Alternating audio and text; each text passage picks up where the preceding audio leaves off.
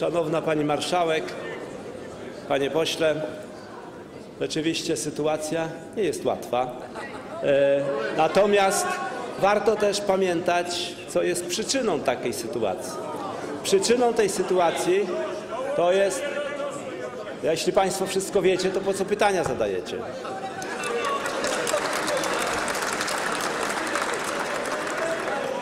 Więc jeśli pytanie pada, to proszę chociaż chwilę zachować e, cierpliwości, kultury i posłuchać odpowiedzi. Więc sytuacja jest taka z prostego powodu. No to właśnie za waszych rządów sprzedano, sprzedano i to nie jest śmieszne niestety, bo rolnicy się z tego nie śmieją, sprzedano wszystkie zakłady przetwórcze. Wszystkie, dosłownie. Teraz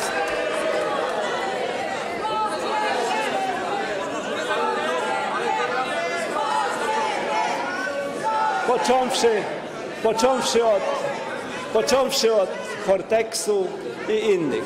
Co teraz, y, co teraz czynimy? Tak, teraz oczywiście prowadzę rozmowy z przetwórcami, ale jako petent, bo w takiej sytuacji poprzednie rządy pozostawiły teraz obecny polski rząd, aby cena jabłek y, przemysłowych była godziwa.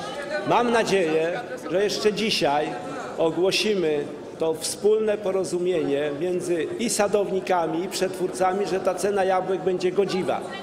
Jeśli odbudujemy polski przemysł przetwórczy, to nie będziemy petentami, tylko decydentami. Ale niestety przez to, że te zakłady przetwórcze zostały sprzedane co do jednego, jesteśmy wszyscy petentami. Sadownicy, niestety polski rząd. Ale my to już naprawiamy. Dziękuję bardzo panie premierze.